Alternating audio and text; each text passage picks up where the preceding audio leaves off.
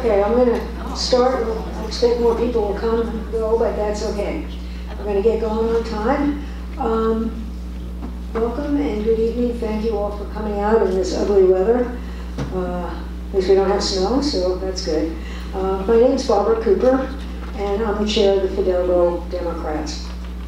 Um, I'm gonna start the meeting with an acknowledgement. We, the Fidalgo Democrats, acknowledge that we gather on indigenous land, the traditional territory of the Coast Salish people, specifically the Samish and Swinomish people, and pay our respects to elders past, present, and future. If you're not on our mailing list, um, be sure to sign in and put your email and phone number. Um, the sign-in sheet is on the back. Um, there's also tags for folks. Um, we don't tend to send out a lot of emails, so you're not going to get a whole lot of weird stuff all the time.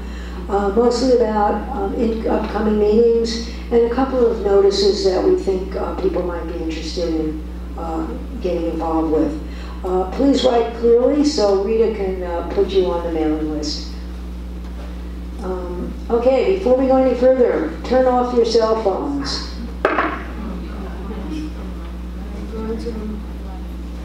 Alright, I'm going to do the same.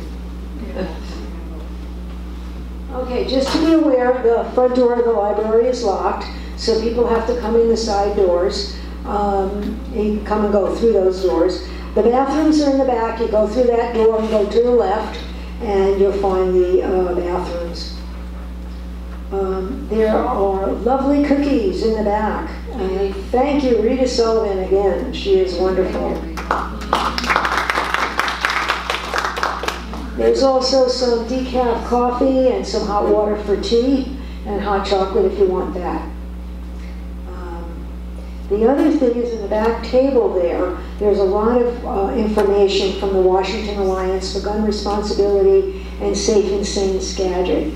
Um, So please take anything that you would like, there's all kinds of wonderful information.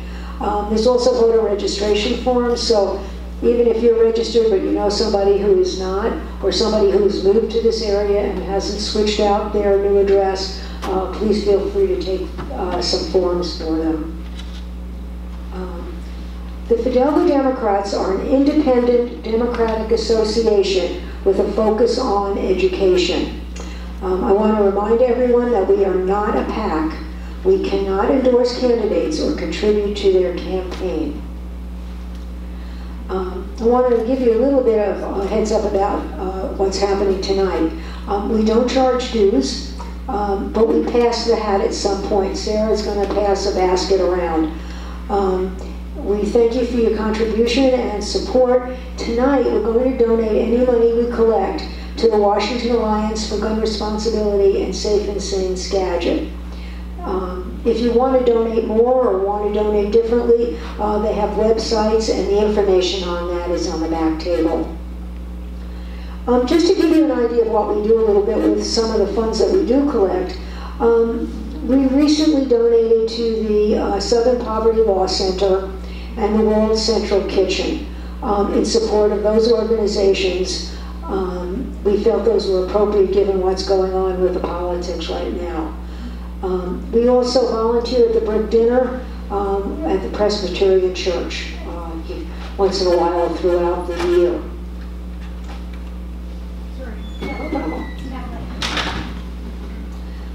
The meeting is being recorded by Zane Butler and will be available on our YouTube channel in a few days. Um, Rita works with Zane to send it out. Uh, just be aware, the camera's back there. If you walk in front of it, you will be on the recording. So just be aware. Um, we often get a lot of views of our recordings, and um, you're welcome to share them. So thank you, Zane. Thank you, Rita, for doing that. Um, before we move on, our next meeting is Tuesday, February 6th. It'll be the first Tuesday of the month because we couldn't get the library on the 2nd. Uh, the person who's going to be the main speaker is Reverend Terry Kyllo.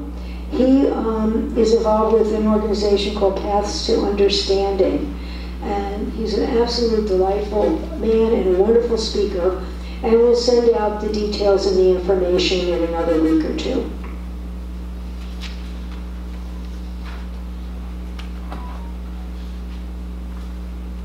And before I introduce the speakers, um, I'm going to ask if there's any uh, elected officials, Democratic Party officials, including PCOs. If you are, please raise your hand and introduce yourself. Okay, Rita, I know you are. PCO, who's got it? Okay, anybody else that I, PCOs. all right, Sarah, thank you, and Lynn, thank you. All right. And uh, Caleb is in the back, is from the Anacortes American and Skagit Herald, thank you for coming. Good work, Jenna. Yeah, you're, really have been a wonderful addition, so thank you. Um, and I just give a couple of uh, shout outs to a couple of people. Uh, Don Ambrose does the Skagit Democrats news, newsletter. If you're interested in getting that, it's wonderful and filled with stuff. Just go on their website. Um, and then Carol and Rick Tam- Tamler edit the Whidbey Island newsletter.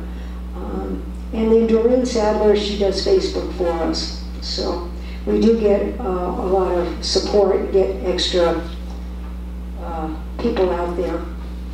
So what I'm going to do now is I'm going to move along and we're going to introduce, I'm going to introduce all four speakers at the same time because they're going to take turns talking. I will read their little blurbs and let them add to that if they would like to. Um, Hazel Brown, um, Hazel began her time with the Alliance for Gun Responsibility as a fellow during the 2019 electoral cycle. Since then, they have served in various policy and advocacy, advocacy positions at the Alliance before moving into their current role as policy and advocacy manager. Um, they have also served in several research positions analyzing a variety of national issues. When not at the Alliance, Hazel can be found basking in the elusive Seattle sun or playing frisbee.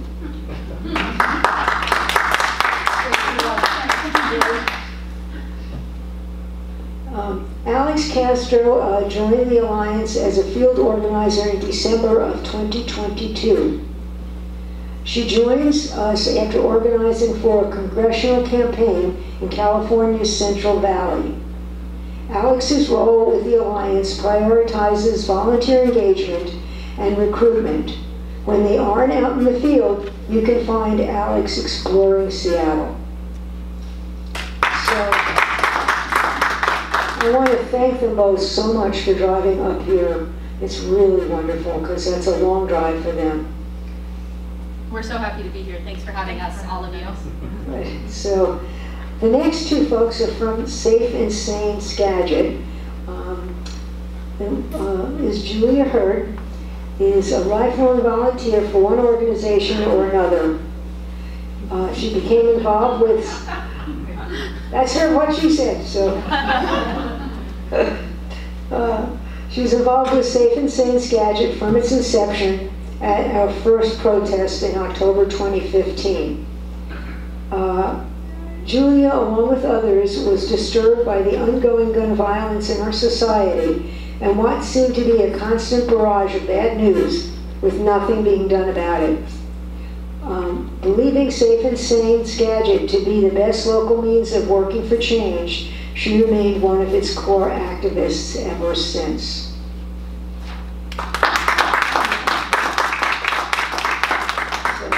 Thank you as well.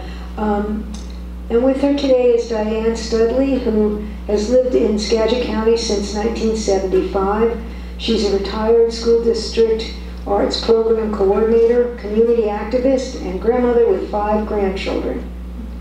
She became politically active in 1971 um, when uh, she headed a Common Cause telephone tree and worked on the George McGovern campaign.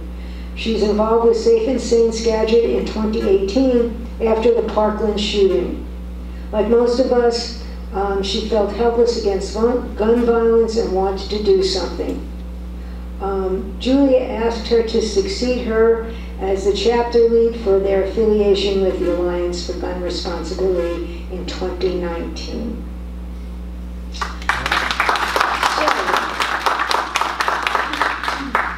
We have, as you can see, four amazing uh, people who have come up and done a lot. So I'm going to turn this over to them, let them uh, tell a little bit about the organization, what we can do, and we'll go from there. Um, Our mics are sketchy, um, so we have two. We'll start with this one.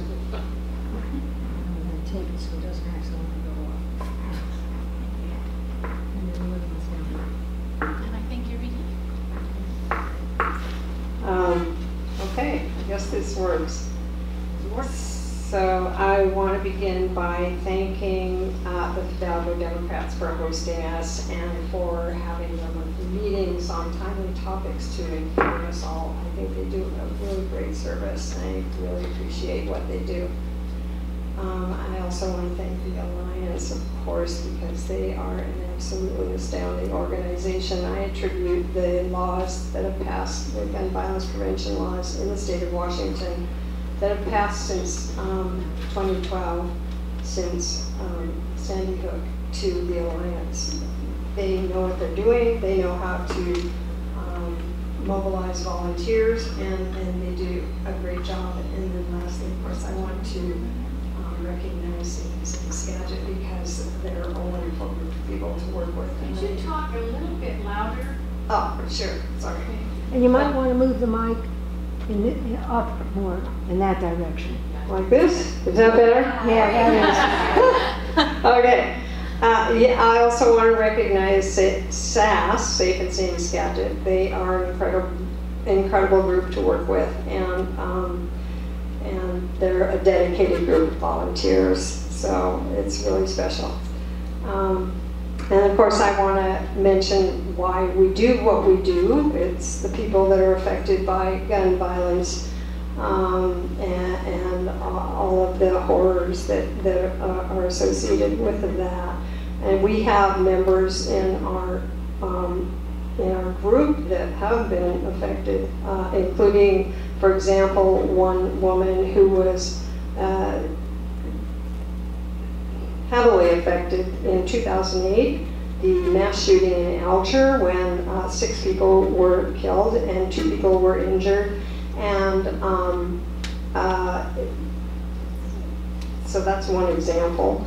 Um, she was involved in that. And then, of course, we had, uh, including one uh, Skagit County Sheriff's deputy at that time. In 2016, of course, we had the tragic Cascade Mall shooting um, when five people were killed. And then I want to mention one gun shop, uh, infamous gun shop in Skagit County that uh, the Seattle Times in 2013 called possibly the worst gun shop in the nation. Um, they uh, had a series of scandals. The ATF shut them down in 2012, and um, some of the things they did were, for example, uh, they didn't keep track of thousands of guns that went who knows where and were involved in crimes, and there was all sorts of other stories. So um, that's why we do what we do. Uh,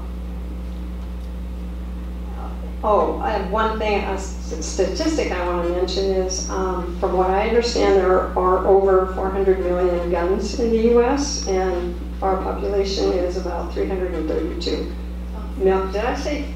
400 million guns and 332 million people in the US. So, there you go. Um, and I want to just give a brief history of our groups, SAS. We, um, as Barbara said, started in October of 2015. Our chairperson and founder was driving through Oregon uh, when there was a mass shooting at Umpqua Community College. She drove home to Edison. There was a new gun shop there with a huge mural that had two assault rifles painted on the side.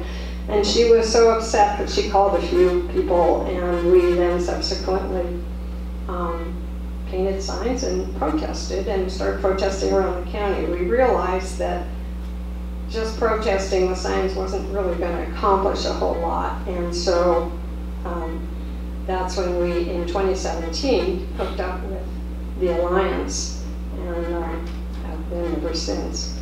And um, so we, um, we started having regular meetings, we created a logo, a mission statement, had signs made, um, Facebook page, Gmail account, we have a, a, a a Google group list, and if anybody is interested in um, signing up, we don't send out a lot, except during the legislative session.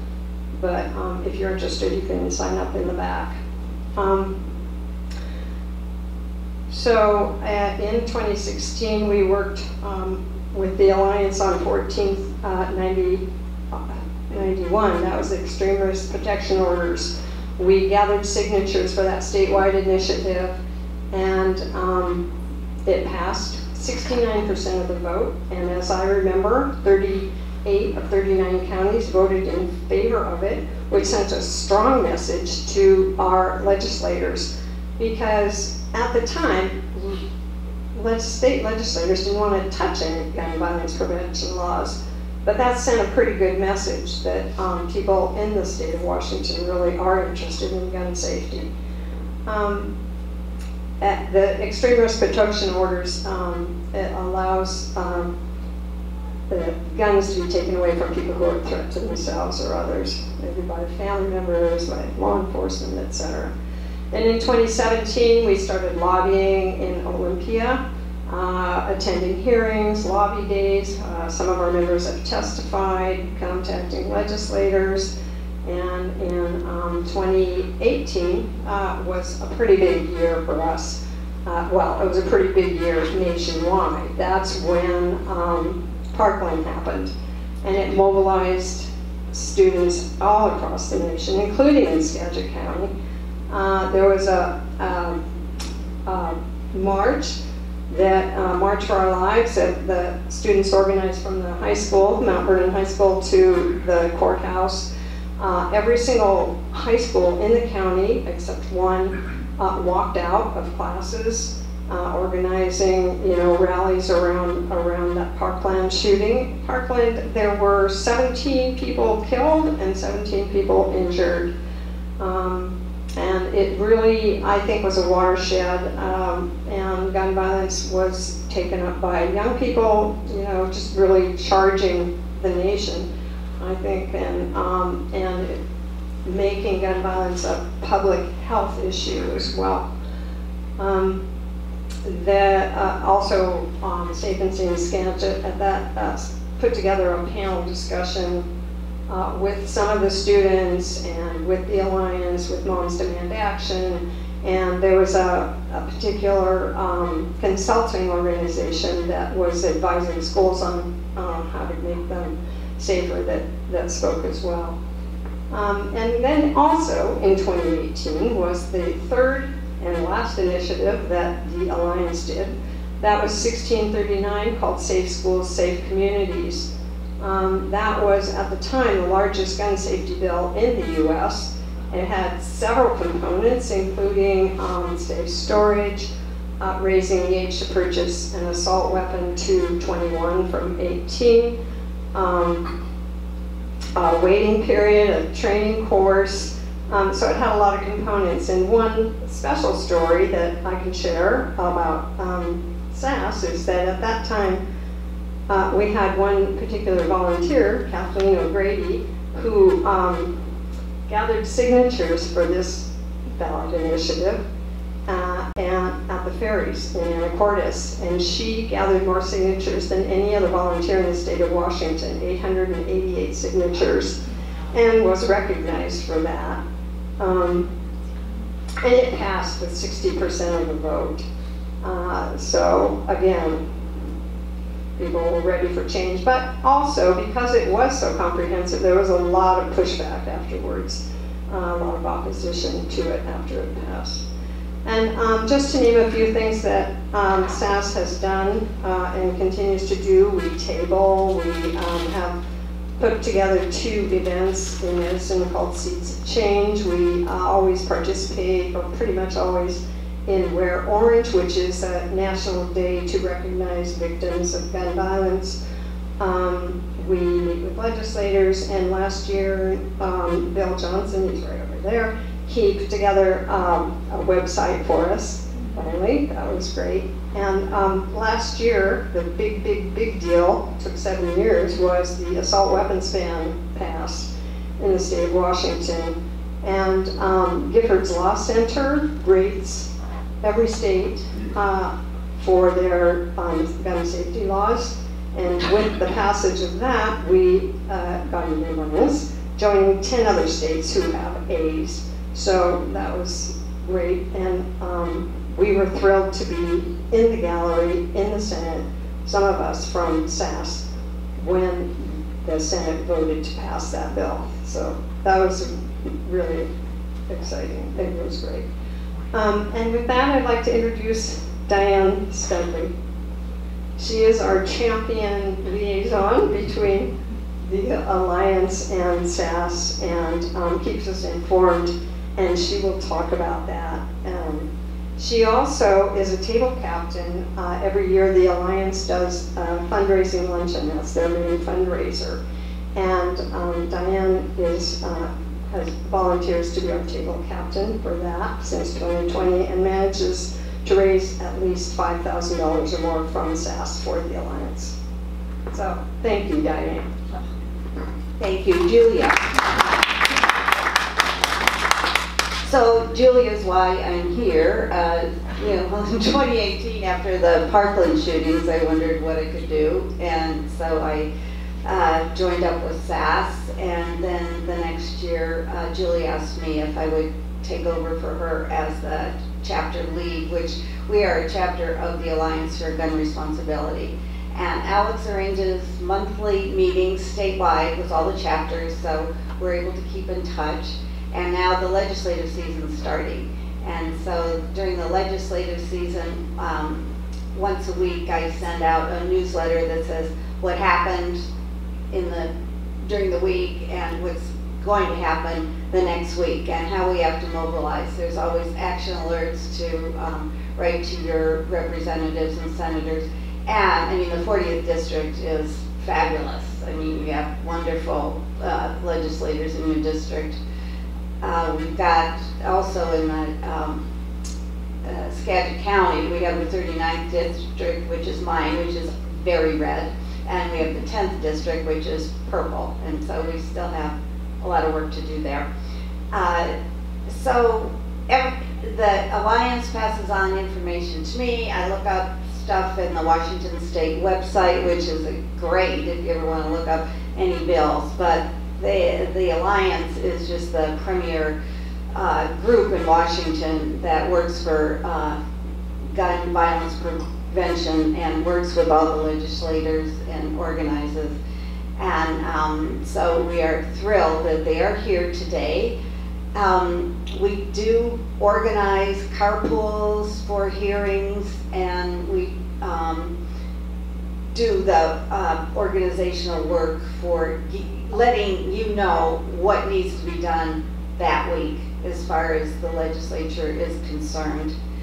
So I don't want to talk anymore because we've got these great women here that are staff at the um, Alliance and they, um, we couldn't have better people here. If you want to know about organizing, Alex has the answers. If Hazel is a policy wonk. You can ask her anything. She's got it on the tips of the finger, her fingers. One thing I would like to say, because the Fidalgo Democrats, they know signs. I mean, they rally one all the time. Is it once a week or once a month? it seems like the Fidalgo Democrats are always out there with their signs.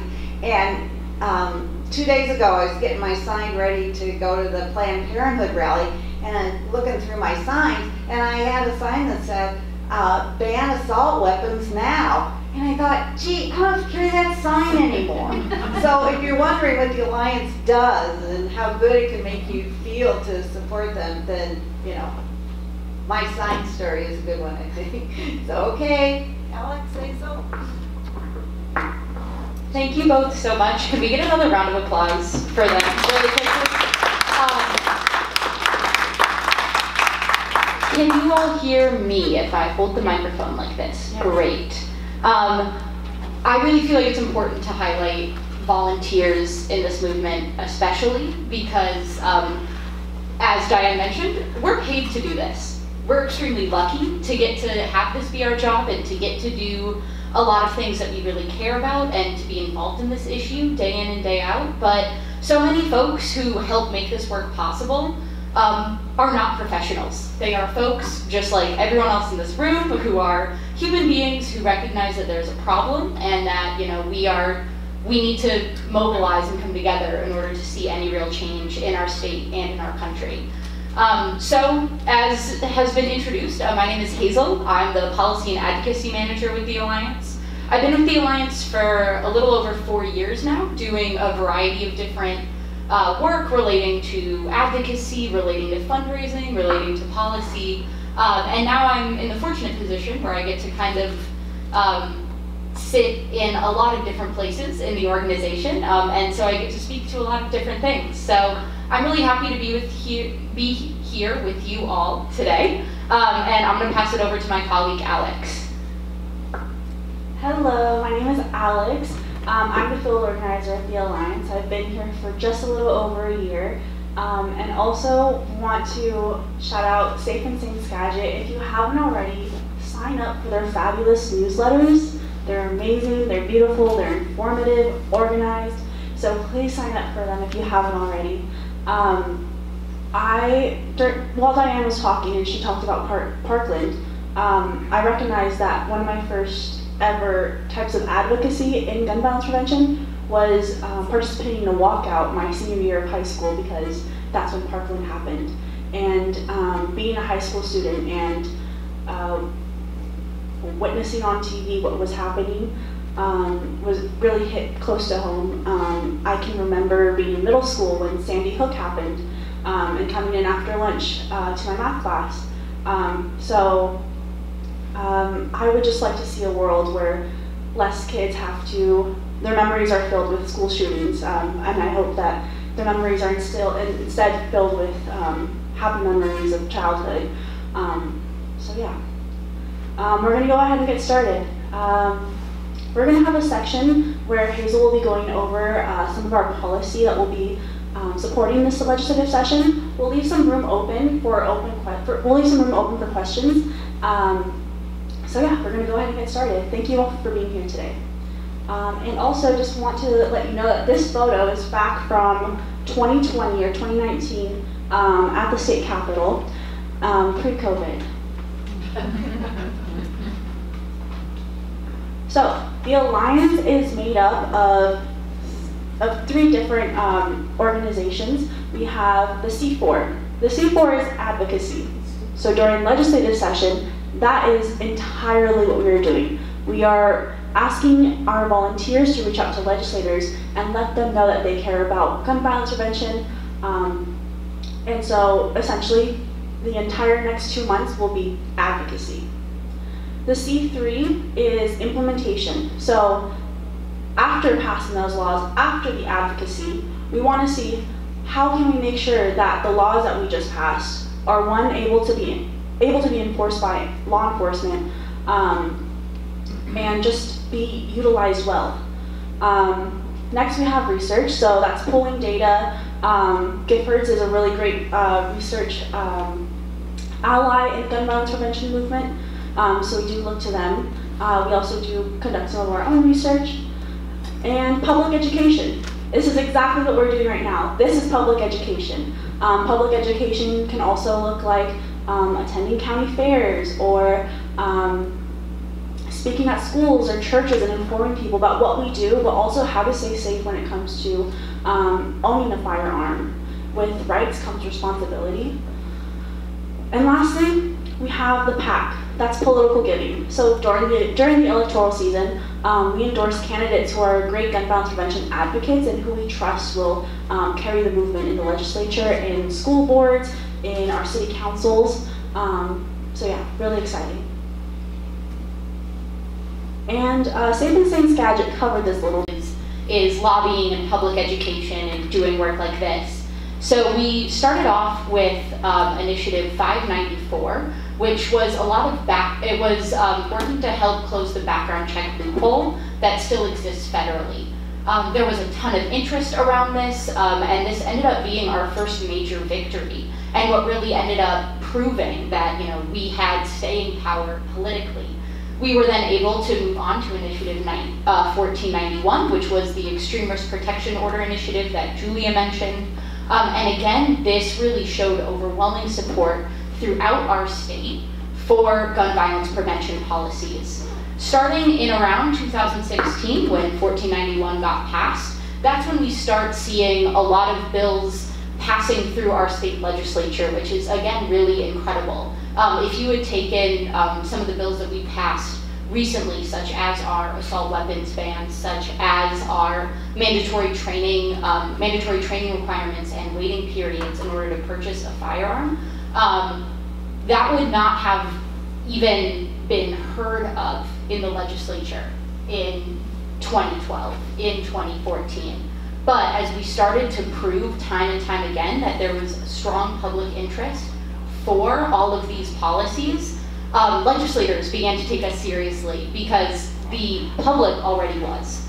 So our last ballot initiative, and hopefully it remains our last, um, is Initiative 1639, which again was really sweeping. It did a ton to help prevent gun violence in our communities. It did strengthen, um, it did strength, strengthen um, buying firearms and, and set up waiting periods. It uh, really increased safe storage requirements in our state. Um, and really just helped kind of meet the need that was um, that was the intense desire by so many people to do things in the wake of tragedy after tragedy after tragedy. Um, we then have now mostly turned to doing advocacy at the Washington State Legislature. Um, thankfully, they take us seriously now, um, and in fact, even get excited to support our bills, which is really great. Um, and we love working with the Washington State Legislature. So that's a little bit about our ballot initiatives.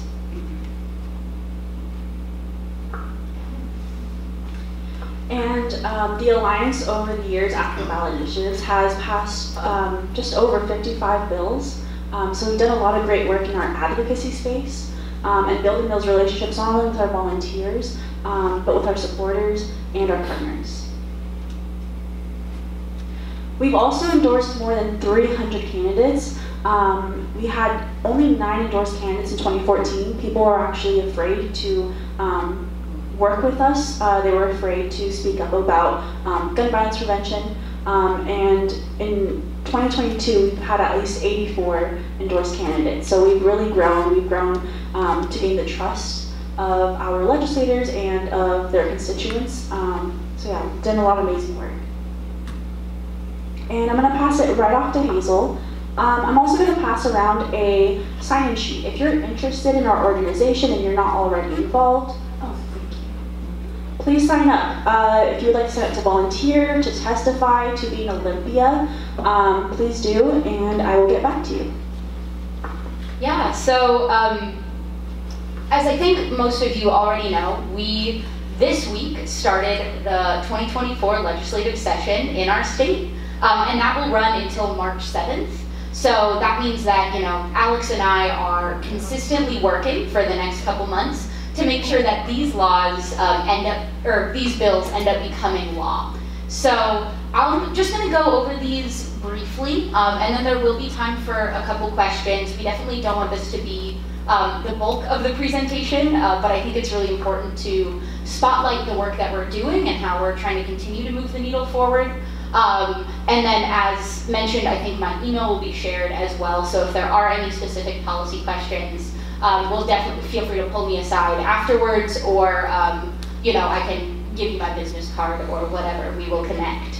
Um, so briefly, the Washington legislative, uh, the Washington legislature works on a biennium, meaning that every two years, all bills, um, all bills die and need to be reintroduced. We are on the second half of that biennium, meaning that we have a couple bills that still exist that were introduced last year.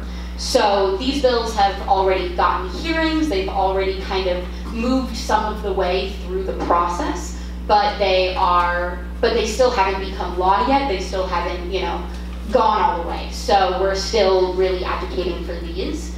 The first one is a restoration of local authority. In Washington state, we have a preemption law in place, and what that means is that local governments are not able to regulate uh, firearms in the way that they're able to regulate a variety of other things. And we've gotten uh, requests from a ton of different cities, counties, um, especially in the wake of every, you know, kind of really public tragedy that we see. Um, my inbox, my boss's inbox, my, CE, my CEO's inbox blows up with local elected officials asking me what they can do in order to help prevent gun violence in their communities as a leader. And, you know, their options, while not, you know, absent, are severely limited. And there's a ton of things that they want to be able to do at the local level uh, that would allow them to help regulate their communities in the way that, you know, they see their communities needing to be regulated. So that's one of our top issue areas that we're really excited to continue pushing. Um, that's sponsored by Senator Nguyen in the Senate and Representative Hackney in the House. Um, we also have uh, risk-based restrictions for sensitive places. So locations such as public parks, museum, museums, aquariums, zoos, places where children are really likely to be present. Um, we're not seeing that these locations have the ability to say that they can't have firearms on the premises if they are publicly owned. So we need to go through the legislature to make sure that, you know, um, the Seattle Aquarium has reached out to us specifically asking that this policy exist because they recognize that they don't want firearms in their establishment, yet they can't, um, they can't facilitate that process themselves just due to bureaucratic red tape. So we're really excited to continue to advocate for this bill on their behalf and a couple other organizations at the you know local levels. Moving on to new bills, and um, something to think about as well is, you know we've talked a little bit about some of the victories that we've had, but Washington State at this point is at an A minus according to Giffords, um, and the only state that is an A is California. So we're doing pretty well. Um, so we've got, had the opportunity now to really think about what innovative policies can we introduce? What have we seen happen at you know potentially a smaller level or only in a couple states that we think can really make a difference in Washington?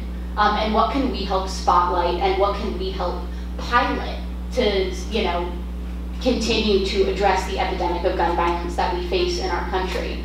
So First and foremost, we are introducing a permit to purchase bill. Um, that's going to be sponsored by Representative Berry in the House and Senator Liias in the Senate. Um, and this would basically just require there to be a permit to purchase a firearm in our state, um, the same way that you need a license to drive a car. Um, it would be renewed every five years um, for a nominal fee.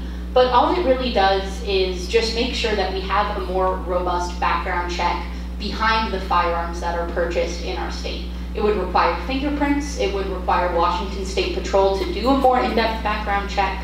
Um, so we're really excited to see this passed. Um, we think that this is going to be a really effective policy moving forward. Um, all data have shown that states that implement a permit to purchase system see huge reductions in both suicides and homicides. We also are going to be introducing mandatory reporting of lost and stolen firearms. This is something that, you know, currently in our state, it's not, you're not required to report any firearm. Once you notice it's missing, you're not required to report that that firearm is missing. And what that ends up doing is, you know, that doesn't set law enforcement up for success at all when they are doing the work that they need to do. We see that um, when folks aren't adequately communicating with police, that um, individuals will get um, if your firearm is recovered at the scene of a crime, an individual will potentially be um, brought in for questioning or held liable for that crime. Um, we see that um, officers, if they are not sure whether or not an individual owns the firearm or not, if it's not in that lost or stolen registry, you know, you were not able to adequately trace where it's going or where it's been. So this is just really a tool to help our law enforcement officials be able to more accurately help protect the communities that they're already working with. We're then going to be introducing a dealer accountability bill. And what this bill will do will basically just create a code of conduct for firearms dealers in our state. And it's a ton of things that firearm dealers are, for the most part, already doing. Things like adequate security, things like safely storing their merchandise, things like reporting when their merchandise gets lost or stolen. Um, but as Julia, again, beautifully teed up for me, um, every once in a while we do see that there are some um, firearms dealers that fall through the cracks and that really aren't meeting standards for the merchandise that they are selling. So this again just really helps us um, make sure that everyone is on the same page when it comes to interacting with, handling, and transferring these really dangerous um, items. We're also going to be introducing a uh, bulk weapons purchase prohibition. So um, we know that bulk weapons purchases are the biggest indicator of firearms trafficking that we can get in our state. So um, over half of crime guns that are received, we know were purchased in a bulk weapons um, transaction. So a transaction that was, you know, over five firearms. What that means is that, you know, in our state, we are now introducing this bill that will say that you can only buy one firearm every 30 days. Um, this may change over the course of debate and over the course of the legislative process, but by limiting the amount of firearms that an individual can purchase at any given time, this really just mitigates the likelihood that there are straw purchase there there is straw purchasing happening um, in our state, so that we're not seeing folks buy an inordinate number of firearms and then transfer them without any background checks or anything to you know, individuals who shouldn't be owning firearms in the first place. And then we're going to be introducing a bill that would direct the healthcare authority to um, allow Medicaid reimbursement for hospital violence intervention programs.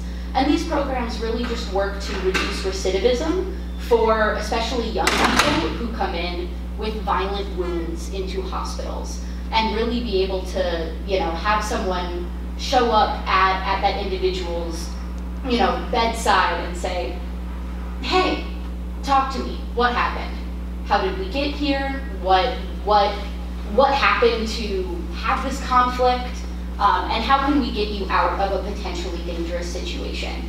Currently, the only place that has um, hospital violence intervention programs in our state is Harborview, and they end up paying for that service out of you know Harbor, Harborview's own funds. So if we can help make these tools more readily accessible through Medicaid, um, I think we'll be able to see, and data has shown that we will see, um, lower recidivism, especially for young people who are being brought in due to um, traumatic injuries. Then we'll be introducing a bill that will allow Washington State Patrol to destroy firearms that they end up confiscating or receiving.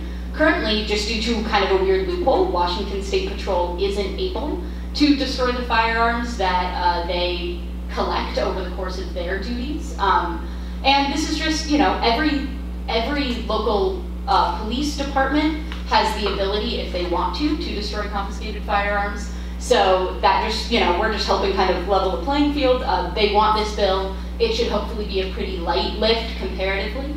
Um, and then lastly, we're going to be introducing a bill that will cover um, civil liability insurance for those that own firearms. Um, now, when we're talking about innovative policies, this is one that I get really excited about. Um, this really hasn't been seen at a statewide level yet. We would be the first state to pass it if it, if it moved forward. And the only other place that has done something like this is San Jose, California. So we're going to have a lot of learning to do. We're really excited to introduce this bill and continue to move the needle forward as a state. Um, but basically this would just, again, very similar to a car, um, state, hey, if you own a dangerous weapon that can cause harm, you need to make sure that you're prepared if this weapon does cause harm for, for covering damages related to that harm. Okay, um, I did my best. That probably still was a little too lengthy. Um, but would love to open it up if there are any questions. Um, and if not, then we can keep moving forward. How would the civil liability insurance thing work with guns without serial numbers? That's a great question. Um, in our state, a firearm without a serial number is illegal, period. So um, that means that then, if you were trying to insure an illegal firearm, um, I'm sure that would become very challenging. I haven't looked, I haven't looked into the nuances of that yet. Um, and there probably are exceptions for, you know, collector's items um, and collector's firearms. Especially, we really try to work with folks who collect firearms as a hobby um, to make sure that they are um, able to continue pursuing their hobby. But the, but yeah, I suppose that's my answer to your question. That's good. I do my best. If you have any questions, I'll bring the uh, microphone to you. Thank you so we can hear what you have to say. I have a question. Um, Why don't you speak into the mic, Hi, can you hear me? Yeah. yeah. Um, Yeah, it seems like individuals who have guns are maybe concerned when they see an organization like yours that you're going to take away their guns. Uh, This is the, uh, get right down to the people who actually vote and can uh, establish policies uh, legally. And uh, so my question for you is, um, could you define for us what a responsible gun owner is, or looks like, or does? Yeah, absolutely. And this, um, we will have a more generic Q and A at the end. So if they're, um, so happy to engage with this, but um, would recommend policy questions for now. But when I'm thinking about what a what a responsible gun owner looks like, and of course, this can look a variety of different ways. Um, I grew up in rural Wisconsin, and so I grew up with firearms in my home because um, my family was worried about uh, whether or not, you know, if someone came up our half mile long driveway, right? Like that meant that if if we didn't know who it was, that meant probably trouble, and we didn't want them there. So, with all of that being said, safe storage is um, pretty critical. If you are a firearm owner, um, you know, your firearm, one, in Washington state, should be safely secured, period. But just as a, as a human being, um, we know that having a firearm in your home, especially if it is easily accessible, you are more likely to die from that firearm than you are to defend yourself from it.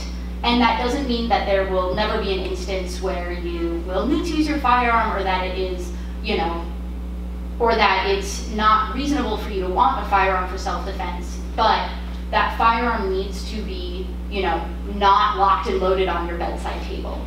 Um, storing your ammunition separately from your firearm. Um, really common sense measures like that have been found to really reduce, um, have been found to really reduce accidental, accidental fatalities, etc. Um, but I do really caution against, you know, this this idea that there can be like one perfect type of gun owner, right? Because there are gun owners look a variety of different ways, and there's a ton of different reasons why someone may choose to own a firearm. Um, someone owning a firearm for self-defense, the way that they interact with their firearm will look very different than someone who, you know, shoots for sport or someone who hunts. So um, there's no, that's kind of a cop-out answer of like there's no perfect way, but um, the main thing that I will indicate if you are a gun owner is really emphasizing safe storage, regardless of the why of you know you owning the firearm, um, making sure that it is accessible uh, by you and only by you um, is pretty critical.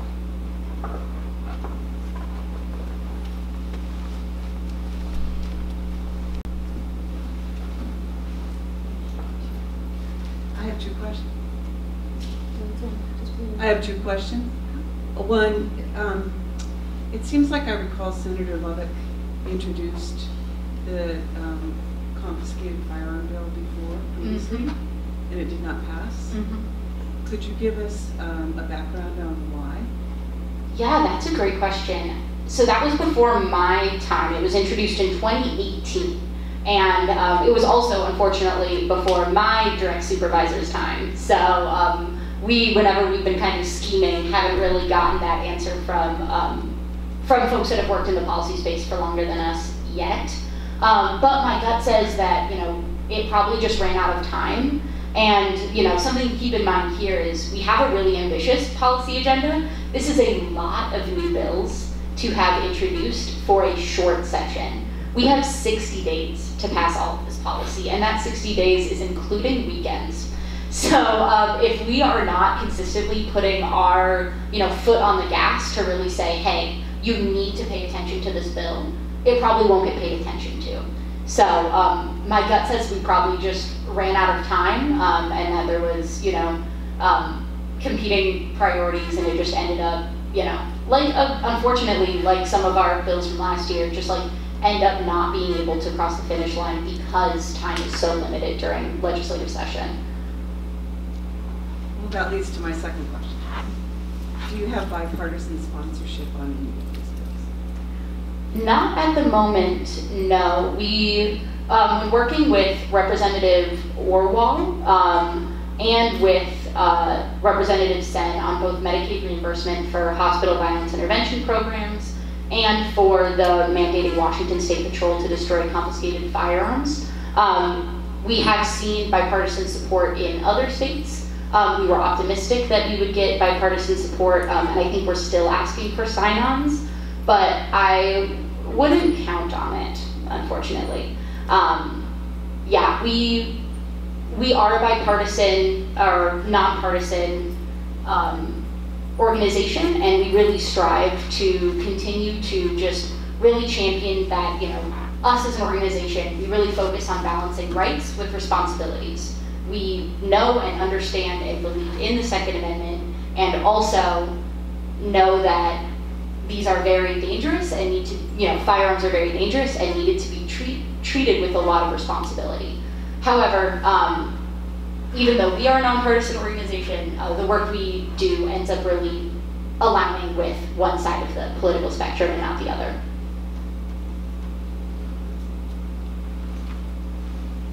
Okay, let me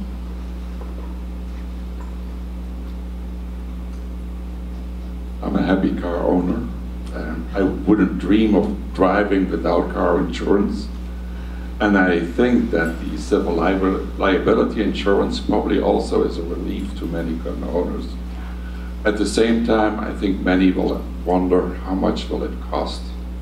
Can you give us an idea? That's such a good question. I don't know the answer to that yet. Again, this is a very this is a very new idea. And so the way that this has been drafted currently is um, a, tying it in with homeowners insurance. So because there's no existing, there's not an existing independent insurance market for firearms in the way that there's insurance markets for homes or for cars.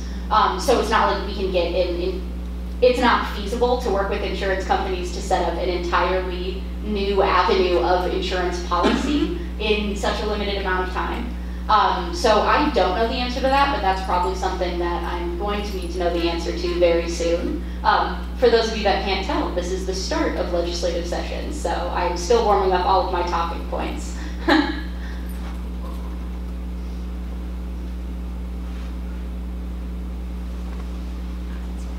Since you're only going to get one or two of those passed in a 60-day session, which one should we prioritize? What a great question. So, what I will say is last short session, we were able to pass eight or nine bills, one of which was our um, high capacity magazine restriction. So, we continue to defy even our own expectations. So, I really hesitate to, you know, say one one or two bills is worth more time than the others. What I will, what I will highlight is that when it comes to making sure that these bills get airtime, um, one thing that really matters is having folks that support these policies show up more than folks that oppose these policies. Legislators listen, they do. They count the amount of emails that they get for and against a policy. And their staff make sure to let them know how many constituents want them to support versus oppose a certain policy. So, with that being said, um, we are already seeing pushback on permit to purchase, lost and stolen firearms, dealer accountability, and our bulk weapons purchases. And I think that these four are going to be the ones to, you know, really show up for this year.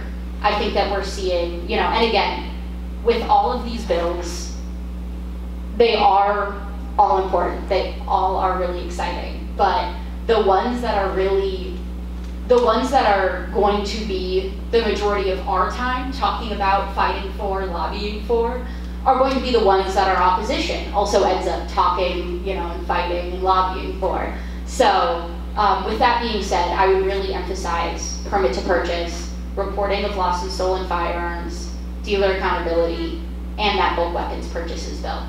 What a great question, thank you. Um, and I think we have time for one more question here in the policy section before moving on to the rest of the presentation.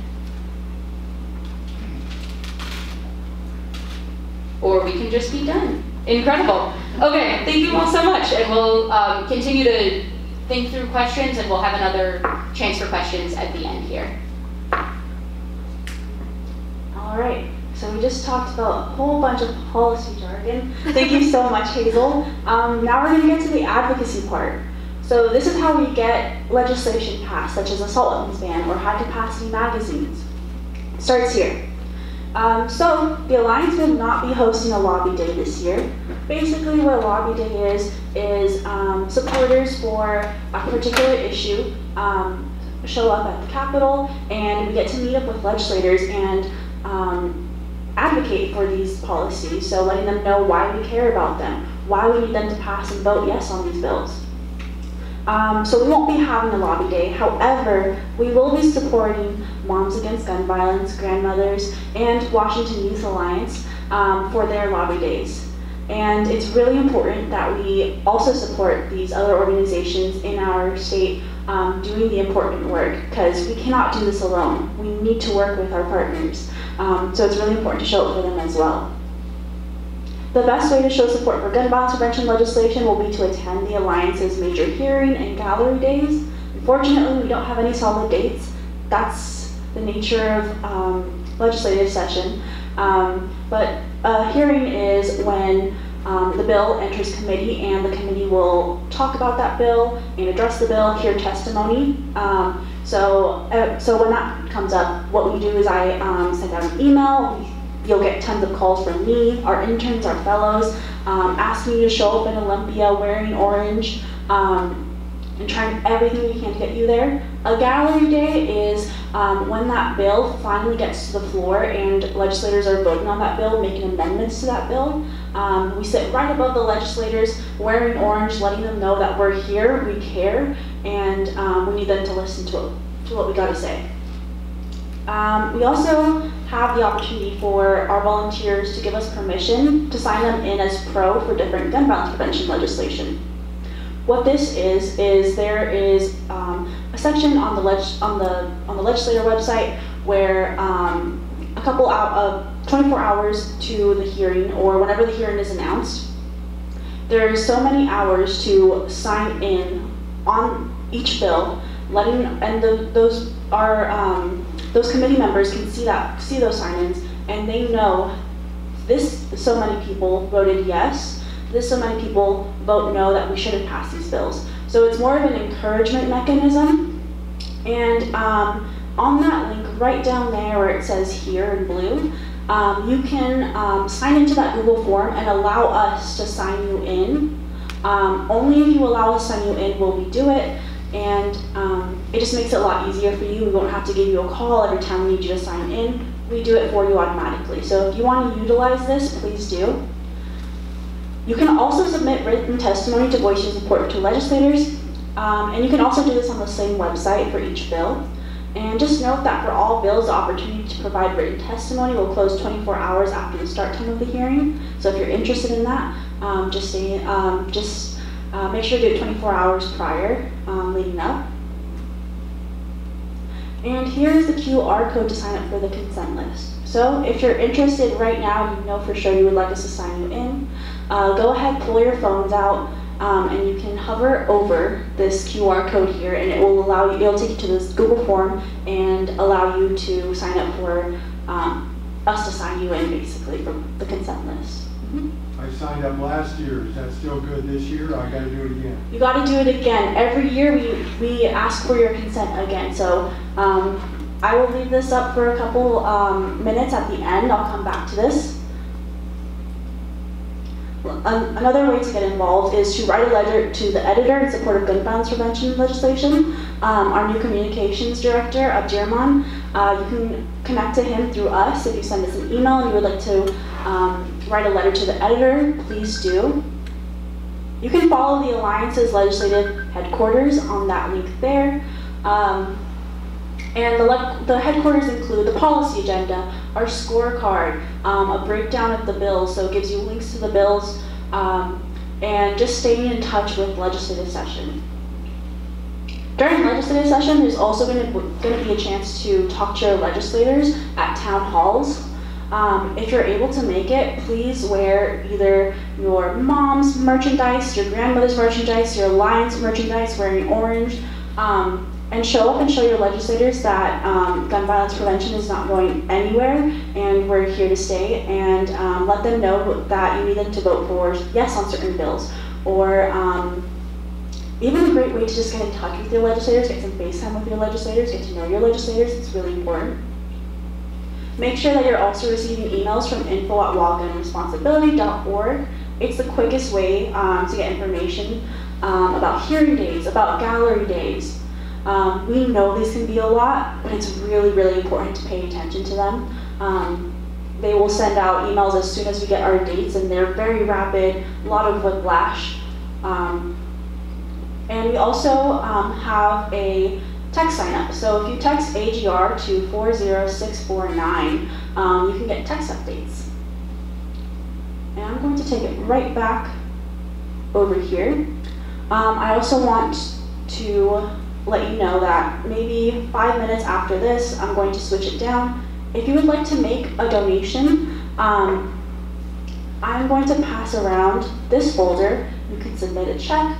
Um, up to you. If you would like to submit something online, feel free to scan this QR code. Um, here are our emails, but I'm going to put it back here and I'll, um, I'll switch it back to the donation QR code as soon as um, the next five minute passes. But we are going to leave the floor open for questions now. Okay, Does anyone have any, uh, any more questions they would like to ask? Okay, hold on.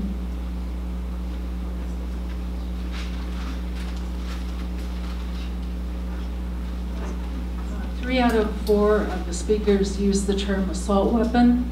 Is there a definition for that that's in some of these bills, or in- if you could provide that for me? Thank you. Yeah, absolutely. So in Washington State, we have banned assault weapons, and we did that uh, both by outlining a list of make and models of firearms that are generically classified as assault weapons because um, you know there is there has been ambiguity on the term, um, but the we also in our state outlined just certain certain components of a firearm that would make it an assault weapon. So um, happy to happy to get more in the nitty gritty, um, either you know now or later. But the but yeah, there's both um, in Washington State a list of firearms that are identified as assault weapons, or if you know a firearm has a lot of components that end up making it like an assault weapon, then um, it is classified as an assault weapon in our state. That didn't cut, cut has a definition. Can- What components, I'm there's got to be something that generically would describe it as a an assault weapon. And that should be something you should easily be able to tell us. Yeah, so in general, um, an assault weapon is classified as a weapon that can fire many rounds repeatedly, um, and it does so at a really high velocity. Um, but again, that, you know, those definitions do vary depending on the state. So, yeah, I just wanted to be specific.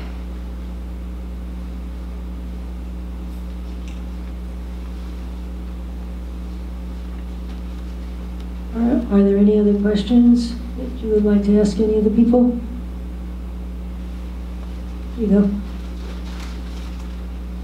If you don't know off the top of your head, I understand, but um, the legislation that was enacted that has that listing, um, can you give a citation on, uh, you know, what that bill number, not what, what, what the uh, law number is? Do you know it off the top of your head? If you don't, Yeah, I know the bill number, I don't know what RCW it is, Oh, but that okay. was HB twelve forty that passed last year. Got it. Um, so yeah, so that should have that list available. thank you. Of course.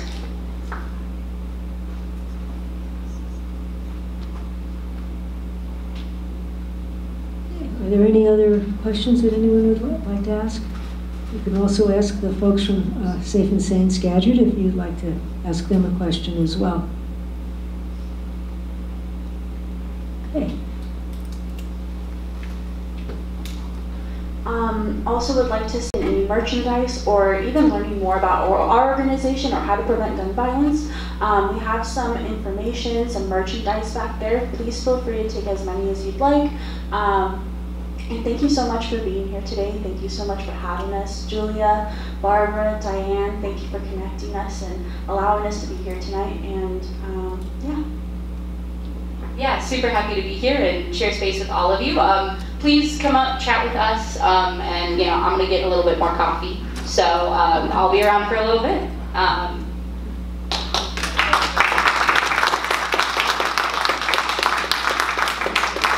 I'd like to really thank, um, thank you all for coming up, and all of you from Safe and Sane Skagit as well, driving here. Um, It was not a lovely evening, to say the least, so thank you all for coming. Um, Especially uh, Hazel Brown, Alex Castro, Julie Hurd, and Diana Studley. Um, And thank for you for all the work that you're doing. It's really very much appreciated. Um, and one other thing just to mention, uh, it was mentioned on Sunday from 12 to 1 at 12th and Commercial, we have various uh, people come with different kinds of interests and signs, so you're more than welcome to come if you find that interesting. Um, and I just want to thank everybody for coming and taking the time out of their busy schedules and being here. Really very much appreciated. And thank you, Cal, for coming as well. So if you want to stay, there's still some cookies in the back and some coffee, and it's decaf, so you're safe. I think the coffee's gone. The coffee is gone, all right, way to go. Yeah.